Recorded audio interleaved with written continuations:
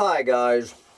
Well, it is another blah winter day here with the sun going down at a quarter to four in the afternoon here on this gloomy, yes, log. It is a Saturday. We are at Saturday. Are we in December 3rd or December 4th? Somewhere in there. Good Lord, trudging through December. So, anyway, uh, the last month of 2022. Good Lord, get us through. But uh, I think I might have promised you yesterday that I was going to be going back to medium.com for more doom and gloom into the bottomless pit of medium.com. But there's been a change of plans because my uh, good friend Elliot Jacobson, who you may recognize Elliot's name. Elliot Jacobson has, I wish he had written it himself, but uh, next best thing, at least Elliot has spotted what in many ways is the single most spot on intelligent analysis of what is going on on this planet that I have ever read in my entire life if if you it's like this dude is reading my mind okay? This is if you had to sum up collapse chronicles and what i've been trying to say at least since this uh, bright green lies of the green energy revolution has come along to stain our planet it would be this. And uh, book hermit I think even Book Hermit should approve of this story. And uh, this is coming out of this outfit called the Intercept. And I have a little bit because it's telling me to become a member of the Intercept. And I'm thinking, oh my God, is there another medium.com? But this fellow writing for the Intercept, never heard of this man. He's a journalist named Christopher Ketcham. K E T C H A M. Never heard of Christopher, and I find that he is a resident of upstate New York. so, anyway, uh, maybe uh, I'm making no promises. Maybe Christopher lives on this very street, but Christopher has done his homework and spelled out what is going on on this planet. You take it away. Christopher Ketcham. The should article should win the Pulitzer Prize, although it will never make it into the mainstream media.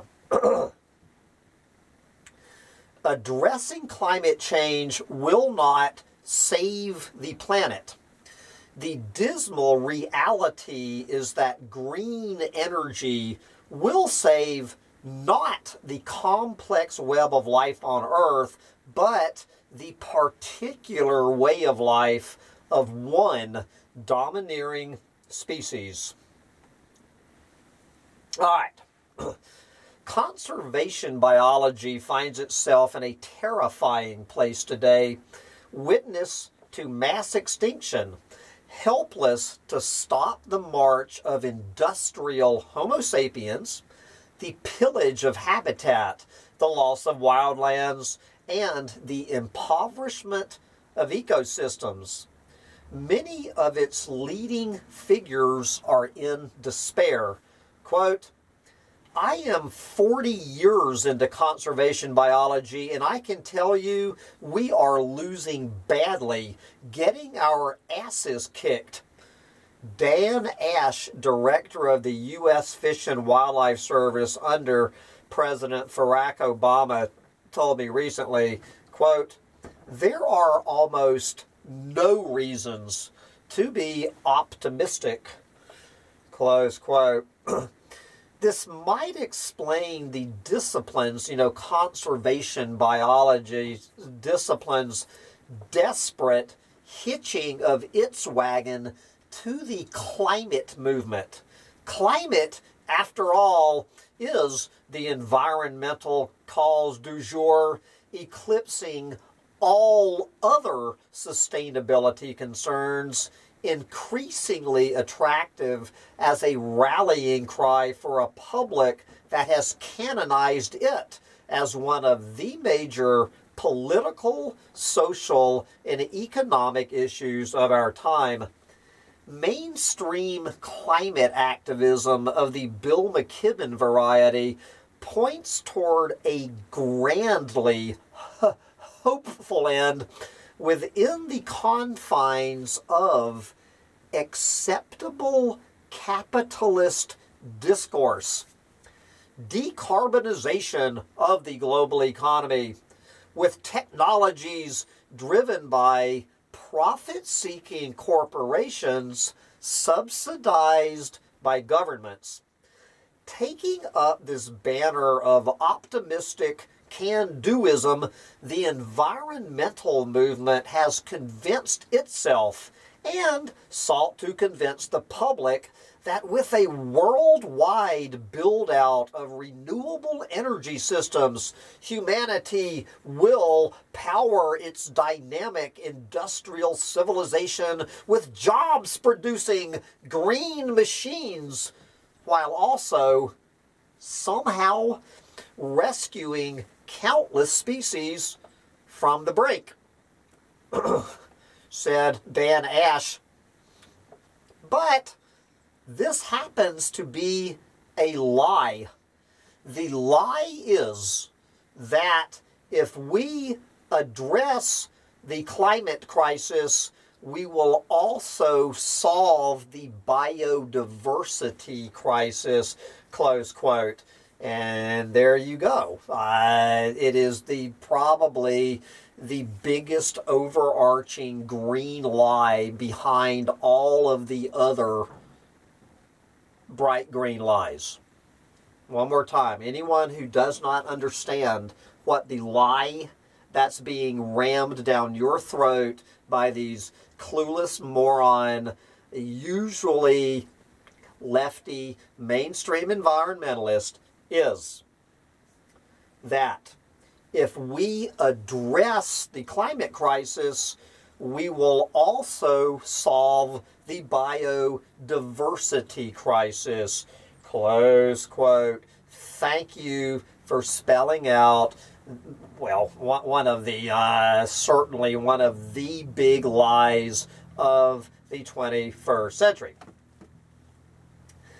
a group of conservationists took up the question of climate and extinctions last year in the journal Conservation Letters, warning that, quote, threats to biodiversity are increasingly seen through the myopic lens of climate change, close quote. The authors who titled their article An Inconvenient Misconception Climate Change is not the principal driver of biodiversity loss included Joel Berger, a wildlife biologist at Colorado State University, evolutionary biologist Andrew Dobson, who teaches at Princeton, and Tim Caro, an evolutionary ecologist at the University of California at Davis.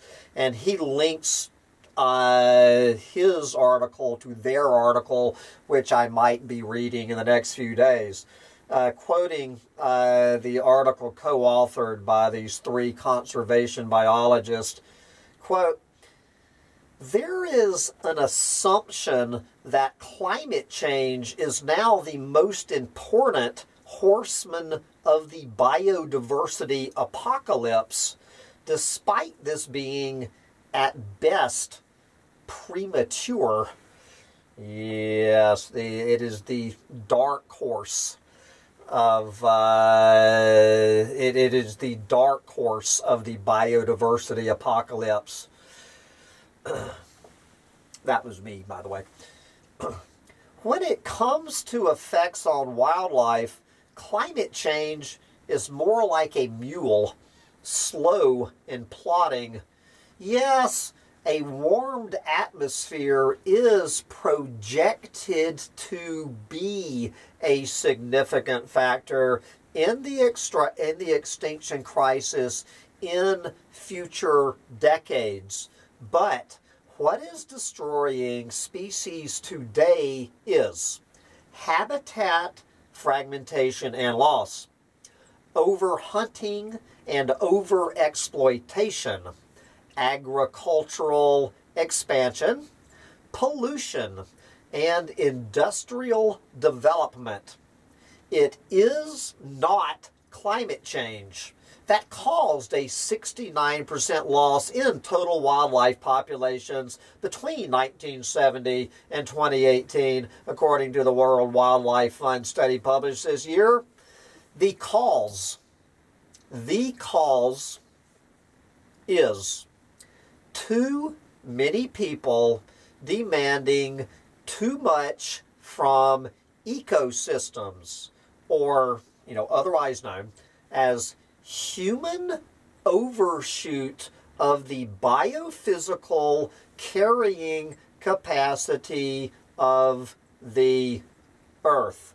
And I'm just going to break it here once again when I say if climate change was nowhere in the picture, it would make no difference to what is going on on this planet today in the near future, with each passing year, it will become a bigger player in the extinction crisis. But as uh, this man just explained, climate change had exactly zero to do.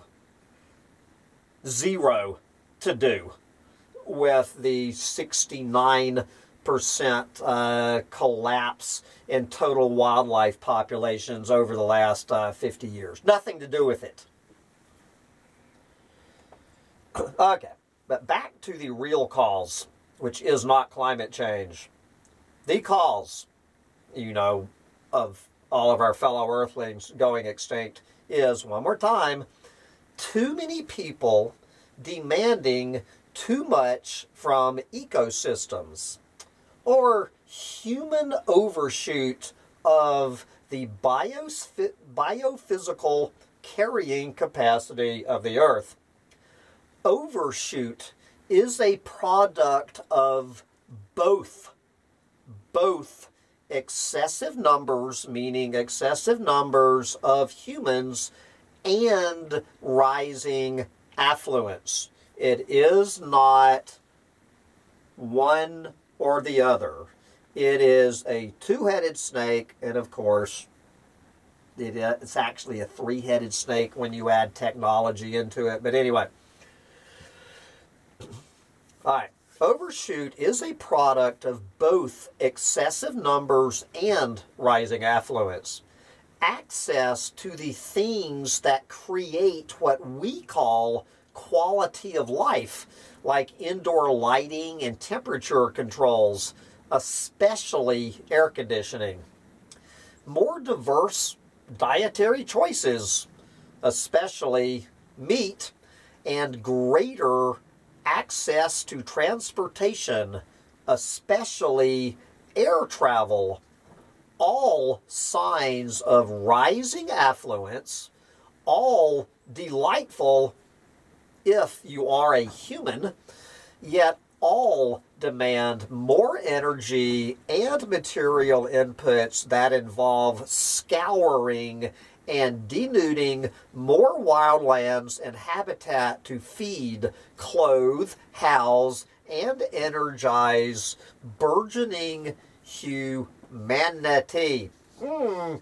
According to the co-authors of the Conservation Letters piece, we are quote, dangerously ignoring this reality and instead doubling down on the, quote, distortion, the distortion that climate mitigation is all that matters to protecting wildlife. Over the last 30 years, the proportion of scientific papers closely tying climate change and global warming to change in patterns of biodiversity has steadily increased according to their analysis. Media coverage of climate change in relation to biodiversity has followed suit, repeating and compounding the error. Hmm.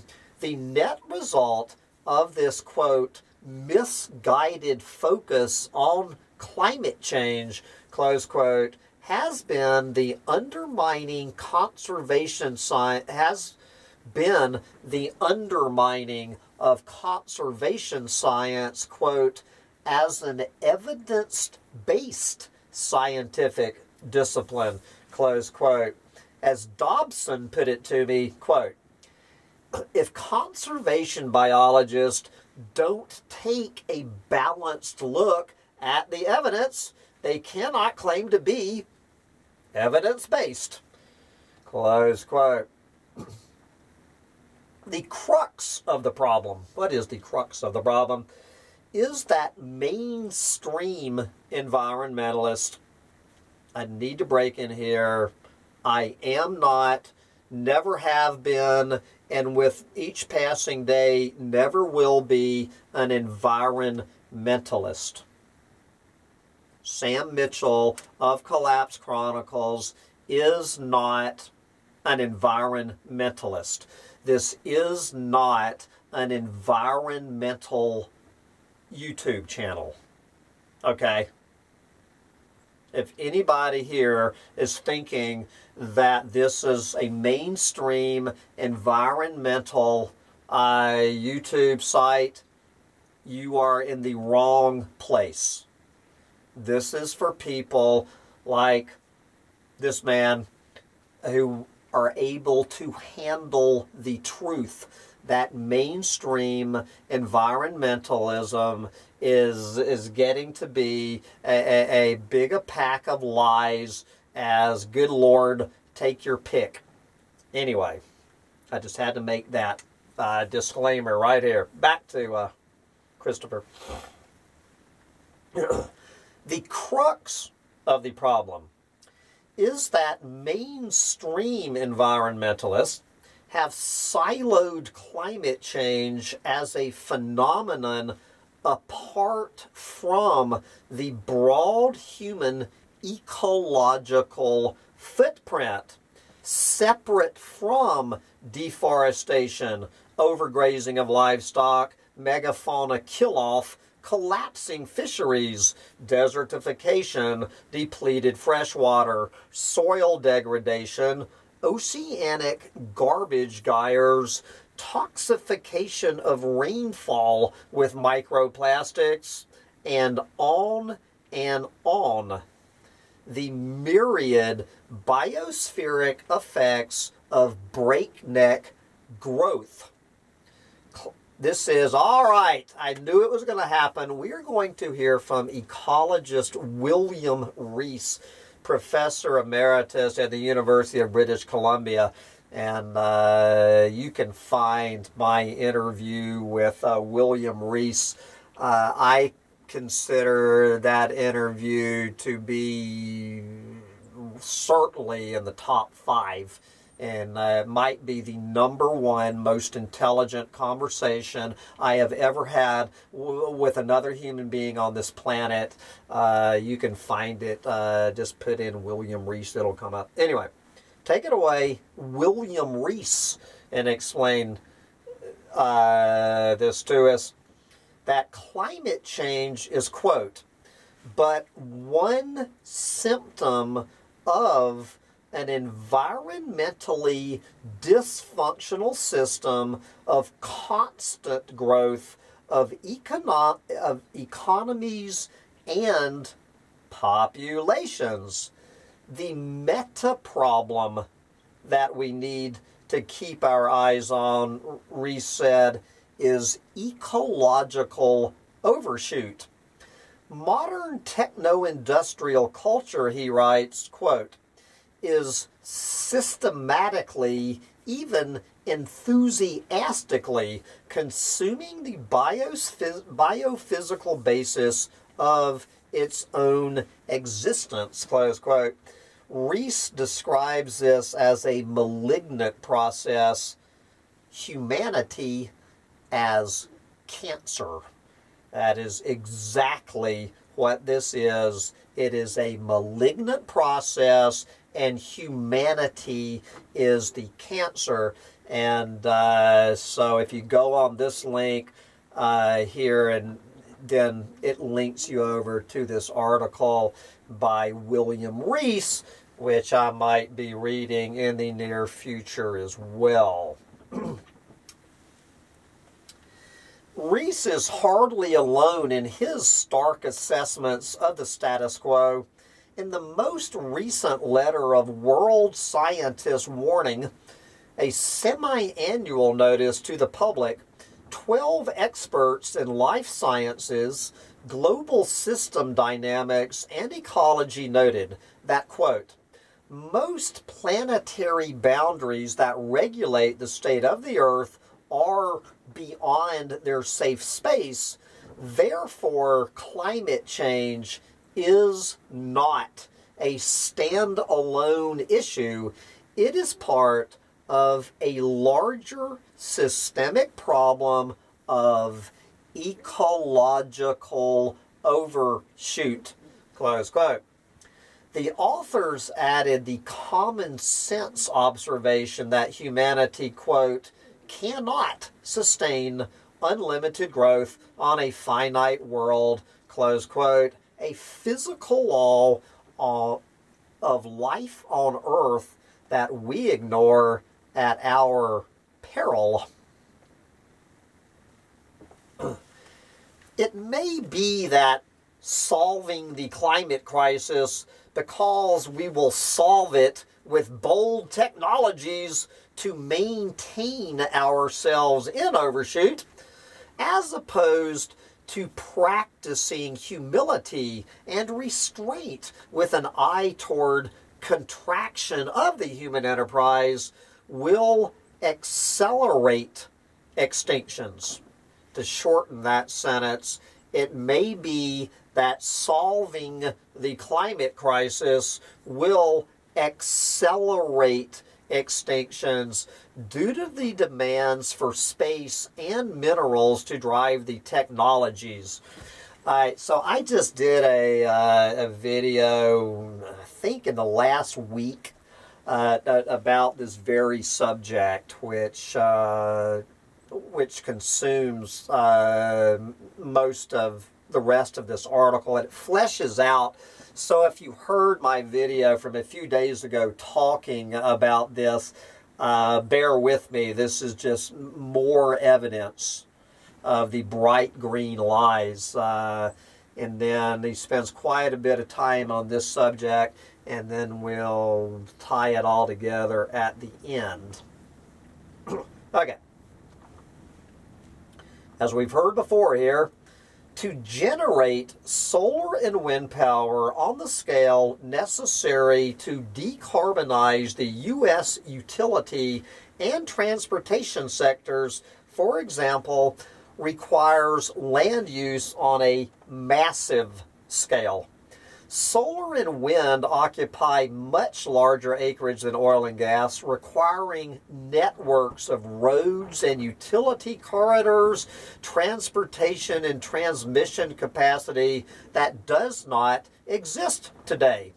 Environmental lawyer Michael Gerrard, founder and director of the Sabin Center for the Climate Change Law at Columbia Law School, estimates that the U.S. needs a tripling or even quadrupling of transmission capacity up from the 160,000 miles of high voltage power lines now in operation. So multiply 160,000 times 3 to 4 to get an idea of how many miles of new power lines we're going to need to put across this country to save the planet. yes, to move all the new green energy to consumers who are mostly in cities from the remote places where it is harvested. A report from the Brookings Institution states that wind and solar require 10 times more land per unit of power produced than coal or natural gas fired power plants. I think I was mentioning this a few days ago. A figure that takes into account the land torn up and habitat destroyed in order to drill out, pump, and transport fossil fuels. The report states, matter of factly, quote, renewable power production will take place in areas that have not seen energy development, close quote. And this is, you know, uh, once again, uh, the risk of repeating myself, where this is going to be happening a lot is on our public lands. That our public lands are getting ready to be more devastated and destroyed by the green energy revolution than fossil fuels have ever affected our public lands. For Joe Biden to quote act like he's going to stop drilling on our public lands, and, and, and, you know what I'm saying. Our public lands ain't seen nothing yet compared to what's getting ready to come down the pike uh, in the name of saving the planet by all of these clueless moron mainstream environmentalists. You can find plenty of YouTube channels to listen to them. This is not one of them. Back to Christopher. I think we've heard this too. There is also the global scale of mining needed to extract and process the lithium, nickel, cobalt, rare earths, and other necessities for renewable infrastructure. The net result, the net result, decarbonizing will likely lead to huge fragmentation of land in the U.S. and overseas particularly in minerals rich China and the global south. And not just wildlife will be affected. The death villages around the Bayan Obo mine in China, source of 70% of the world's rare earths, are testament to the health cost of green tech mining, which is only going to accelerate in pace and scale. Consider the green destruction. I love that. Consider the green destruction of habitat now unfolding in the Mojave Desert across California and Nevada, where the rush to build industrial solar is catastrophic for native flora, flora and fauna, said Patrick Donnelly, who works at the Center for Biological Diversity, investigating the environmental effects of the renewable energy rush in the American West. Quote, utility scale solar is just as bad as urbanization and development. The result is that the Mojave is in big trouble, close quote. Start with site-specific Mojave plant species such as the tri-corner milkvetch and the white-margined beard tongue, lovely rare flowers endemic only to certain valleys and basins. They are goners under the solar regime. From there, the picture only gets uglier, with the likely wiping out of huge stretches of habitat for the broad suite of Mojave fauna. Foxes, hawks, badgers, rabbits, and most prominently the desert tortoise, the keystone species of the Mojave, whose construction of extensive burrows provides homes for at least a dozen other species.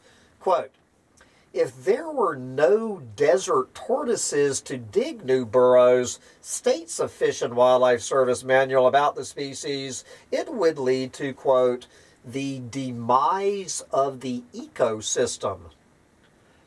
Said Donnelly, this conservation biologist Donnelly, quote, the worst thing these massive solar projects do is cause direct habitat loss for the tortoise and friends, close quote. Donnelly me the grim future that rampant solar development promises for Mojave wildlife is already in evidence where migratory passages for tortoises have been compromised by existing solar. Climate change modeling tells us the optimal temperature range for the tortoise is moving steadily northward. And so the tortoise will seek that path north to survive. Critical passages for this expected migration have already been cut off. Ivanpah Valley, a bottleneck between the East Mojave and the North Mojave, is now severed by solar. Pahrump Valley, another passage to the north, is slated for solar that will have a similar blockading effect. There are tens of thousands of acres in the Mojave Desert containing what the U.S. Bureau of Land Management calls, quote, high density populations of desert tortoises that are now being developed for solar with the expected result, according to Donnelly and other watchdogs, that tortoises will wink out, otherwise mean get obliterated off the face of the planet. Some 60,000 acres of BLM land. Can you say our public land? Some 60,000 acres of our public land adjacent to near pristine Death Valley National Park have been proposed for industrial solar. One of those sites is Sark Sarcobatus Flat, a wild place mostly empty of human habitation, which is a value in itself as wildlife needs big open spaces free of the meddling of Homo sapiens. Situated in the Great Basin Mojave Transition Zone, Sarcobatus is a vast valley of Joshua trees, greasewood, and blackbrush the Joshua tree, which the Fish and Wildlife Service is considering for protection under the Endangered Species Act, is already on a path to extinction. Joshua tree woodlands being one of the most imperiled ecosystems in the American West. The solar project at Sarcobatus Flat would kill, bulldoze, and stack in cordwood piles between 50,000 and 70,000 Joshua trees, according to a field estimate by the nonprofit Basin and Range Watch. This is a great way to protect uh, Joshua trees from extinction. Okay. The Great Basin Desert to the north, meanwhile, remains you know, today mostly free of the techno industrial regime. But that is ending with the advent of new electrical transmission pro- projects into these remotest parts of Nevada. A project called GreenLink that electricity and natural gas provider Nevada Energy is funding. Greenlink North, pending approval, is planned to run along Highway 50, the infamous loneliest road in America, from Reno to Ely, through some of the wildest parcels of public land in the state and prime habitat for the endangered greater sage grouse. The ground nesting bird, like the desert tortoise, is an indicator species of landscape health. The purpose of the transmission line, as Nevada Energy has made clear, is to render solar economically feasible in those remote sun rich landscapes. Greenlink North, along with the associated solar fields it will make possible, is expected to devastate some of the last strongholds of sage grouse in north central Nevada, as the birds are exquisitely sensitive to the light and noise of development. It may be, it may be that global society can achieve a measure of sustainability in climate terms, but on a planet that has been stripped of creatures like the tortoise and the sage grouse, shorn of natural agency, reduced to a biological pauper, its last wildernesses occupied for the greater good of the industrial juggernaut. We will be a kind of gleaming metallic Noah's Ark that carries few animals, only lots of people. Pondering these matters, Dan Ashe had arrived at a revelation that amounted to a conservation biologist's worst nightmare. Quote, I've come around to the idea that a lot of the diversity of life on Earth may be incompatible with human ambitions and aspirations. Huh. On the other hand, I can be very optimistic about climate because ultimately humanity is going to deal with carbon pollution. It's an issue for our well being. We can solve it by building machines and making money. That's obvious in the Inflation Reductions Act. Now, guys, I am not saying uh, I am agreeing with anything in that part of the quote. Okay, but now, getting back to reality. But with the biodiversity crisis, you cannot solve it with machines, and it involves constraints on our making money. And history shows we are not very good at constraint. Ashe suggests that conservation biologists cease, cease, and desist and end and shut STFU. Anyway, I think you get the point. Ashe suggests that conservation biologists cease the empty claims about saving the planet with climate mitigation and start speaking truth. There is at present no plan in any country, anywhere, on a global or national scale to address extinctions, biodiversity crash, and habitat loss. The dismal reality as that is that with a green build out, we will be saving not the complex web of life on Earth, but the particular way of life of one privileged domineering species that depends for its success on a nature ravaging network of technological marvels. Only once this truth is understood can honest decisions be made about what kind of world humanity wishes to inhabit in the age of ecological disorder. Hallelujah. Amen. Christopher Ketcham. And uh, again, I might have to track down Brother Christopher and I see uh, if maybe we can meet up and have us a little talk.